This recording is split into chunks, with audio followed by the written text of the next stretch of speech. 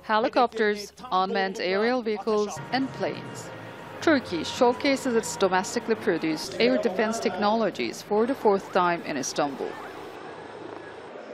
200,000 students competed in 35 different fields to take part in the six-day festival.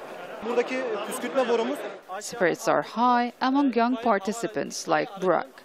His team won a first prize with a drone designed to extinguish fire.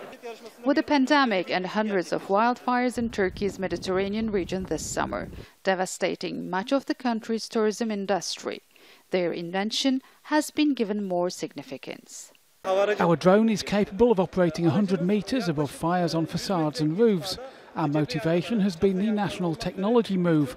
We're aware of the mission and vision our state has chosen. Other winners are being chosen, but those who make it are seen as assets for the country's defense industry that's out to sell its products and services at home and abroad.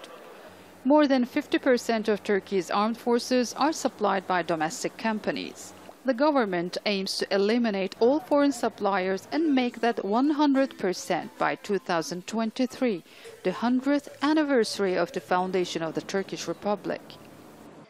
Teknofest gençliğine baktığımızda When we look at Teknofest Youth, we see the architects of great Turkey, engineers, scientists, entrepreneurs who will make their marks tomorrow. Bayraktar drones are named after the family members behind them. They're known for their effectiveness in helping Azerbaijan achieve victory over Armenia in their conflict over the disputed territories of Nagorno-Karabakh in 2020. Bayraktar TB2 drones are now used by Turkey, Ukraine, Qatar, and Azerbaijan. The engineer of the aircraft and chairperson of the Turkish Technology Team Foundation organizing this festival says they're part of Turkey's future.